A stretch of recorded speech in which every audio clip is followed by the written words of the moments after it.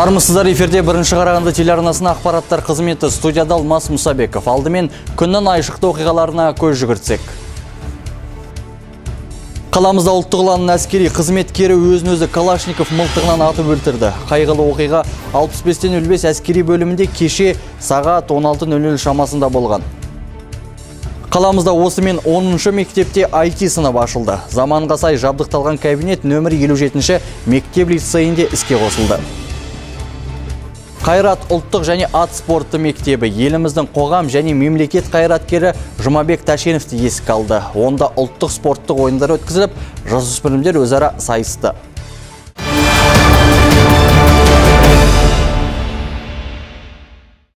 Қаламызда ұлттық әскери қызметкері өзін өзі Калашников мылтығынан атып өлтірді. Қайғылы оқиға 65-тен 55 әскери бөлімінде кеше сағат 16.00 шамасында болған. Кеудесі қайғыға толған Насиба Құрманова кішкентайынан бауырына басқан Тимур Нұрмановтың ажал құшқанына Түркістан облысынан жеткенше сенбебет. Жаны жайсаң азаматтың өзіне қол салды дегенге үзілді кесілді қарсымын дейді. Үйткені жақындарына жиі хабарласатын бауырының мылтықпен өз маңдайынан атуға себеп болған жоқ деп еңіреп қоя берді. ондай емес өлтірді деп айтып ондай емес So they talent to kiss it. And of course it's yeah, it's in the baby. Түркістан облысының тумасы Тимур Нұрманов ұлттық ұлан сапында бір жыл борышын өтеп, келісім шартпен түзеу мекемесін күзетуге қалған. Оқиға азамат кеше қызметке түскенде түскі төрттің кезінде болған. Алдын ала болжам бойынша күн тәртібімен калашник мылтығын алған жауынгер казарманың тура ортасында маңдайына оқ жаудырған. Тіпті жантүршігерлік жағдайға азаматтың бірнеше қызметтесі куә болған деген бейресми ақпарат бар. Бірақ марқұмның жақындары 22 жастағы Тимурдың бұл әрекетке шыдамы таусылғанынан барғанына сенімді. Кемшіліктері біреумен ерегіскен болса мына жерде командир час бар командир несі бар басқа да ротасы бар. Солар білу керек еді. Ал рас алып күппе күндіз алып мына жеріне өзінің мына жеріне мылтық қойып кім атады ол? Оны или психически ауру болады или давить етеді бір адам. Сонан кейін оған барады. Бір жыл бұрын ғана әскери шен алған азаматтың оқты қайдан алғанын әскери бөлім басшылығы да білмейміз дейді. Үйткені оқиға жауынгердің оқ дәрі алғанынан бұрын болған екен. Сол үшін қазір кіші сержант Тимур Нұрмановтың өліміне қатысты қызметтік тергеу басталды. Служил қызметтік тергеу тағайындалды. Оқиғаның мән жайы анықталып жатыр. Әскери прокуратура мен қазақстан республикасы ішкі істер министрлігінің орталық аймақ бойынша әскери тергеу басқармасына хабар берілді. Тимур нұрман келісімшарт бойынша үш жыл қызмет етті. Отан алдындағы борышын да осы 6505 әскери бөлімінде атқарды. Үш жыл бойы келісімшартпен әскери қызмет атқарған Тимур Нұрмановтың мәйітіне дәл қазір сараптама жасалып, мырыш табытпен 12 сағатта туған жері Түркістан облысына жеткізілетін болады. Ал оқиғаның ақ қарасын 6505 әскери бөлімінің басшылығы тексереміз деп отыр. Бірақ істің мән жайын анықтау қиынға соғатын секілді. Үйткені 22 жастағы Тимур Нұрмановтың өзін атқандағы сәт бейне бақылау камераларына жазылмапты. Мейрамгүл Салқынбаева, Жасұлан Мақұлбеков, Дастан Шанин. Бірінші Қарағанды телеарнасы.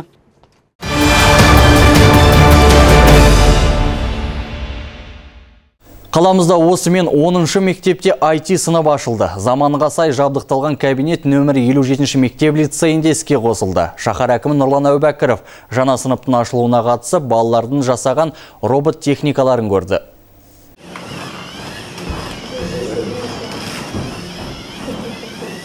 IT кабинетте оқушылар 3D модельдеу, компьютерлік графика, фотошоп, жергілікті желі бағдарламалау және веб-сайтты құру жұмыстарын үйренеді. Сандық технологияны меңгеріп робототехникамен айналысады. Бүгінде мұнда 300-ден астам оқушы курсқа жазылып үлгерген. Балалар қазірдің өзінде түрлі жобаларды бастап кетті. Солардың бірі 6 сынып оқушысы Айбек Рахметолла. Робототехника бірлігі детальдарынан робот сабақтан кейін қосымша келіп смар роботтар жасаймыз. Машина құрағым келеді. Великтар жүретін адамға керекті заттарды құрағым келеді. Бүгінде қала бойынша 10 IT сыныбы жұмыс істейді. 3D модельдеу бойынша біліктілігін арттыру үшін 43 мұғалім курстан өткен. Ал бағдарламаларды жаңартуға жергілікті бюджеттен 28 миллион теңге қарастырылып отыр. Айта кету керек, цифрлы Қазақстан бағдарламасы аясында қолға алынған жоба Нұр Отан партиясының ұйытқы болуымен жүзеге асырылған. Бұл бастама оқушыларды креативті ойлауға, ойларын жүзеге асыруға, сондай-ақ теориялық білімді іс жүзінде қолдануға мүмкіндік береді. Бұл класстардың басты мақсаты балаларды қазіргі ең бір қажетті мамандықтарға үйрету. Оның ішінде робототехника мамандығы бар бағдарлама мамандығы бар. Еліміздегі цифрлы қазақстан деген бағдарламаны жүзеге асыруға партияның қосқан үлесі деп қарауға болады. Және де балалардың бүгінгі жұмысы ұнады бұл сыныпқа көрші орналасқан мектептердің балалары да келіп үйрене алады. Бұдан бөлек әртүрлі байқауларды ұйымдастыру және педагогтардың біліктілігін арттыру жөнінде жоғары оқу орындарына хат жіберілген. Сондай-ақ жыл соңына дейін тағы үш IT сынып ашылады деп жоспарлануда. Айжарқын Сейсен, Аман Қожанов, Дастан Шанин, бірінші Қарағанды телеарнасы. Енді Қарағандыдағы жалпы орта білім беретін мектептер мемлекеттік жекеменшік әріптестік аясында жүзеге аспақшы. Осыған орай қалалық әкімдікте іске асыру жолдары талқыланды. Басты мақсат бизнес өкілдерін тарту. Қарағандыда мемлекеттік тапсырыстарды мектепке дейінгі жекеменшік ұйымдар жүзеге асыруда мол тәжірибе бар. Бүгінгі таңда бизнес өкілдерін орта білім беру саласына тарту көзделген. Ереже сол қалпында қалмақ, яғни кәсіпкерлер оқу мекемесін қамтамасыз етеді, мазмұнын жанартады, ал билік мемлекеттік тапсырыстарды орналастырады. Сондай орта білім беруді жан басына қаржыландыру жобасына сәйкес мектептерге қаражат әр оқушыға бөлінеді. Бұл бюджет қаржысын тиімді пайдалануға мүмкіндік бермек. Бүгінде Қазақстанда 5 мектеп осы принцип арқылы жұмыс жасауда. 2020 жылы барлық мемлекеттік қала мектептері қаржыландырудың осы түріне ауысады. Біз жан басына қаржыландыруға дайынбыз бірақ оқушы толы мектептер бар. Сондықтан біз мемлекеттік тапсырыстарды жеке мектептерге орналастыруды қарастырамыз. Қарағандыда осындай бес мектеп бар. Бүгінгі күні мектепті қысқа мерзімде салуға болмайтынын жақсы түсінеміз. Бірақ шағын және орта бизнес субъектілері бар. Қайта жабдықтап жеке мектептерге айнала алатын бизнес орталықтары немесе стандартты ғимараттары бар. Екінші мәселе бүгінгі күні мектептерді сенімді басқаруға табыстау бар оларды тиімсіз деп айтпаймын бірақ олар толық күшпен жұмыс істемейді және қажетті білім деңгейін бермейді Сондай-ақ отырыста биылғы жылы Қазақстан үш аймағы білім беру саласындағы мемлекеттік жекеменшік әріптестікті жүзеге асыруда пилоттық жобаға қатысқан туралы айтылды. Қарағанды облысы әзірге бұл санаққа кірмейді. Сол себептен де кәсіпкерлерде аталмыш ұсыныстарды қарастыруға уақыт бар.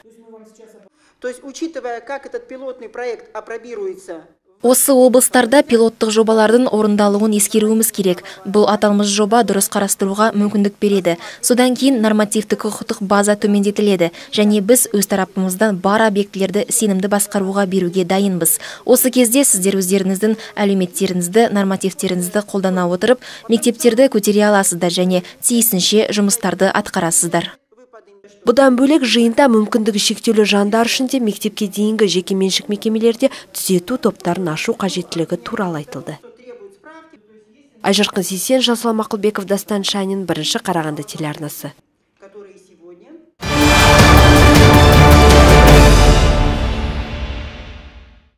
Еліміздегі ана тіліміздің мәселесін көтеріп жүрген саясаткерлер мен қоғам белсенділері Қарағандыға келді. Сапар барысында спикерлер Қазақстанның болашағы қазақ тілінде атты үш күндік семинар өткізіп, көпшілікпен кездесті. Тіл жанашырлары достық үйіндегі кездесуде көпшілікке рухани жаңғыру және басқа да мемлекеттік бағдарламаларды көпшілікке түсіндірді.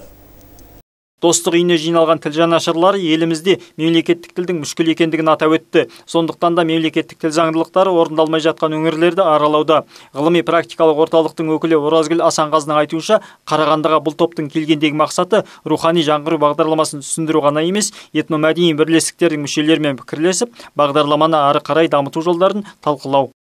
Бір тұтас ұлт болудың негізгі көрсеткіші ол тіл а қазақстан республикасының мемлекеттік тілі қазақ тілі. Елбасымыз 2006 жылы қазақстан халықтары ассамблеясының сөзінде сөйлегенде былай деді. Қазақстандықтар үш тіл білу керек қазақ тілі орыс тілі ағылшын тілі. Бірақ қазақ тілі үш тілдің біреуі емес. Біріншісі негізгісі маңыздысы қазақ тілі қазақстан республикасының мемлекеттік тілі деді. Ахмет байтұрсынұлы қай ұлт ана тілін жоғалтса уақыт өте өзін де жоғалтатынын атап өткен. Сондықтан қазақ тілінің мәртебесін көтеруге мемлекет тарапынан арнайы тапсырма берілуі тиіс. Оған қоса облыста идеологиялық кемшіліктер де жеткілікті. Музейлерде желтоқсан оқиғасына қатысты естеліктер алашорда үкіметінің басшылары шыққан өңірде ешқандай алаш арыстарына арналған ескерткіш жоқ дейді. Ұлт тағдыры қозғалысының төрағасы дос көшім осакаровканың музейінен сұрадым. Сіздерде желтоқсан шайқасына қатысқан 86 жылғы бір адам жоқ па? Мен көрген жоқпын музейден. Мен білмеймін қарағандының музейінде бар ма қазақстанда. Басқа елге барып басқа жерге басқыншы ретінде соғысқан ауғандықтарға он шақты ескерткіш бар облыстарда. Дос көшімнің айтқандай алашорда көсемі әлихан бөкейхановқа ескерткіш қойып есімін октябрь ауданына беруге бүгінгі билік әлі қауқарсыз күйде. Сондай ақ мағынасы көнерген көшелердің атын ауыстыру да заман талабы. Алайда әзірге өзгертілуі тиіс көшелер белгілі болғанымен қашан ауысатыны уақыт еншісінде. Жаңабек нар аман қожанов дастан шанин бірінші қарағанды телеарнасы. Ал Жайық Бектұров атындағы кітапханада Қазақстан ақын жазушылар одағы облыстық филиалының кеңсесі ашылды. Бұл аймақтағы зиялы қауым өкілдеріне үлкен қуаныш болды. Кабинетті ашу салтанатына жергілікті ақын жазушылар қатысып, қаламгерлердің алдағы жоспарлары талқыланды.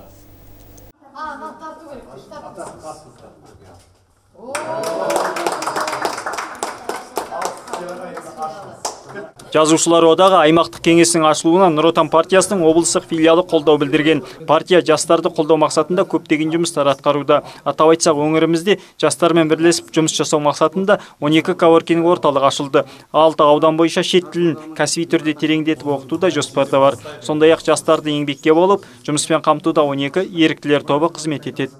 Жақанович тапсырма берді. Мынау жазушылар мен жазушылар ақындар жастармен біздің ашылған коворкинг орталықтарымыз бар ғой. Сол коворкинг орталықта біздің жастармен кездесіп оларды осы орталықтарды ұйымдастырып әрбір ауданда әрбір қалада осындай біз коворкинг ашып жатырмыз облыс бойынша жазушылар одағының филиалында 10 адам тіркелген. Қаламгерлер алдағы уақытта әдебиеттің болашағына қатысты шаралар өткізіп қоғамның мұң мұқтажын билікке жеткізіп отыратын белсенді ұйымға айналатынын мәлімдеді. Жас таланттарды қолдауға мүмкіндік жасап талабы зор өрендердің рухын көтерген үшін зиялы қауым өкілдері облыс әкіміне ризашылықтарын білдірді. Осы жерде жас ақын жазушылардың проза поэзия драматургия секциялары жұмыс істеу керек. Жас ақын жазушылардың қолжазбаларын қарап отыру керек осында. Осында күнде жұмыс жүріп жату керек деп ойлаймын. Әдеби процесс жүру керек бұл жерде.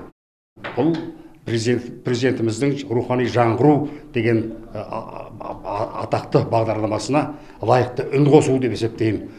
Рахметтен басқа айтарым жоқ. Ұйым мүшелері міндеттелген жоспардың жүйелі түрде жүзеге асырылатынын айтты. Сондай ақ кездесу соңында жиналған қауым ой пікірлерімен бөлісіп келешекте қасым үйі ашылса деген ұсыныстарын да ортаға салды. Жаңабек нар аман қожанов дастан шанин бірінші қарағанды телеарнасы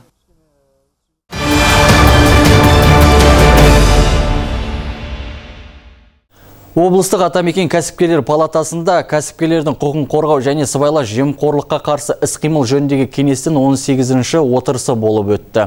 Күн тәртібінде талқыланған негізгі тақырып Стежок компаниясының өтініші бойынша мемлекеттік кіріс органдарының іс-әрекеттерінің заңдылығын түсіндіру болды. Қарағанды облысының кәсіпкерлер палатасына Абай ауданының мемлекеттік кіріс басқармасының сәрекеті жөнінде стежок кәсіпорны шағым түсірген.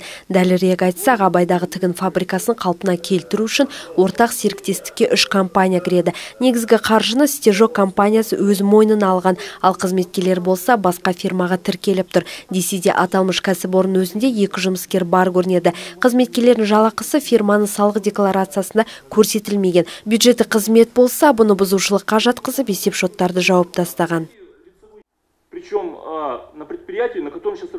Кәсіпорын өзінде жүзге жоқ адам жұмыс істеуде. Біздің инвестициялық жобамыз құлдырау үстінде тұр. Абай ауданының мемлекеттік кіріс басқармасының басшысы Алексей Ифанов кәсіпкерге қатысты қарсы пікір білдірді. Он сөзінше жоғарыда айтылған ескертулер камералық бақылаудан кейін жіберілген біз талап еткен қажетті құжаттарды көрсеткен жоқ. Есесіне бізде заңға сәйкес салық кодексінің 96 бабы бойынша өз талаптарымызды орындауға міндеттіміз. Кеңестің мүшелері бұл мәселені талқылауға белсене қатысты шешім бойынша кәсіпкер барлық қажетті құжаттарды оның ішінде аутсорсинг келісім шарттарын да ұсынуы тиіс. Айжарқын сейсен шалқар алтынбеков дастан шанин бірінші қарағанды телеарнасы. Ал Қайрат ұлттық және ат спорты мектебі еліміздің қоғам және мемлекет қайраткері Жұмабек Ташеновті еске алды. Онда ұлттық спорттық ойындар өткізіліп, жасөспірімдер өзара сайысты. Шара барысында ұлттық спорттың дамуына үлес қосқан азаматтар мен сайыс жеңімпаздары марапатталды. Торғайдың ұясындай шағын алаңда қалалық қайрат ұлттық және ат спорт түрлері бойынша балалар мен жасөспірімдер мектебінің шәкірттері ұлттық ойындар бойынша сайысты. Аттың құлағында ойнап сан түрлі сайыстарда шыңдалған жастар ат үстінде садақ атып теңгеліп, аударыспақ ойындарын көпшілікке көрсетті. Аударыспақта 10 сайыскер сайысып, Абдулкарим Сауқымбаев жеңімпаз болды. Абдулкарим республикалық ұлттық ойындарға да қатысып жүр. Бүгінде колледжде оқиды. бұл мектепте дайындалып жүргенімізге 5 жыл болды бұйырса тағы да алдағы жарыстарға жетуге ниеттіміз. Өзім 77-ші мектептен келгем келгенде 12 жаста едім. Осы жаттықтырушымыз омарбаев талғат тиштағұлына рахмет. Ұлттық спорт мектебінде аттардың бәрі сайыстарға үйретілген. Сонымен қатар жиырмаға тарта білім ошағы спорт мектебінің шараларына үнемі атсалысады. Аталмыш мектептің қызметкерлері мен шәкірттері республикалық халықаралық додаларда топ жарып жүр. Бұл мекеме қалалық болғанымен барлық облыстық шараны өздері ұйымдастырады. Болашақ чемпиондар осындай жарыстарда шыңдалады дейді ұлттық спорт мектебінің директоры. Ана теңге ілу сосын аударыспақ көкпардан сол саламен көрсетеміз. жиырма екі ат бар жиырма екі ат бар шабандоз өздері балалар енді кезек кезек минеді класстың төрт жүз жетпіс бала бар бізде. Жұмабек тәшенов мемлекет және қоғам қайраткері экономика ғылымының кандидаты 1939-1975 жылдар аралығында еліміздің жоғары кеңесінің министрлер кеңесінің басшысы сияқты әртүрлі салада басшылық қызмет атқарған.